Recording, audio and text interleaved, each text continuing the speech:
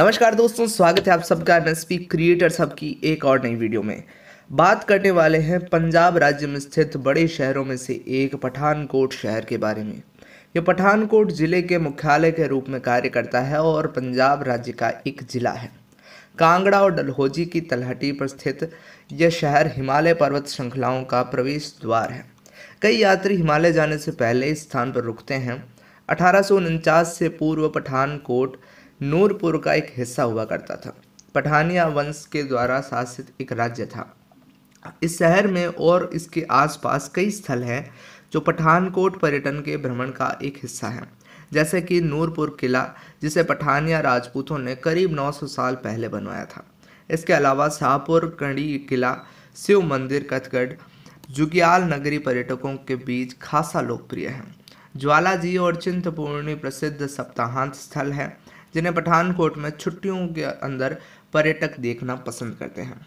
एक ऐसा शहर जहाँ हर साल भारी संख्या में सैलानी आते हैं। पठानकोट में कई ऐसे होटल हैं जो आरामदायक, आवास और स्वादिष्ट भोजन प्रदान करते हैं। शहर के और आसपास के विभिन्न ढाबों में कई मशहूर उत्तर भारतीय और पंजाबी व्यंजन परोसे जाते हैं। पर्यटन के अलावा, पठानकोट पर्यटन सैलानियों को खरीदारी में लिप्त होने के पर्याप्त अवसर भी देता है। मिशन रोड, सुजानपुर बाज़ार, गांधी चौक शहर के कुछ प्रसिद्ध शॉपिंग स्पॉट हैं। पश्मीना सॉल पर्यटकों के बीच खरीदा जाने वाला सबसे अधिक लोकप्रिय वस्तु है।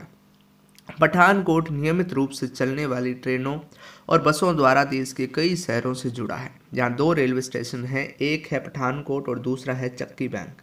दूसरा रेलवे स्टेशन शहर से केवल चार किलोमीटर की दूरी पर है।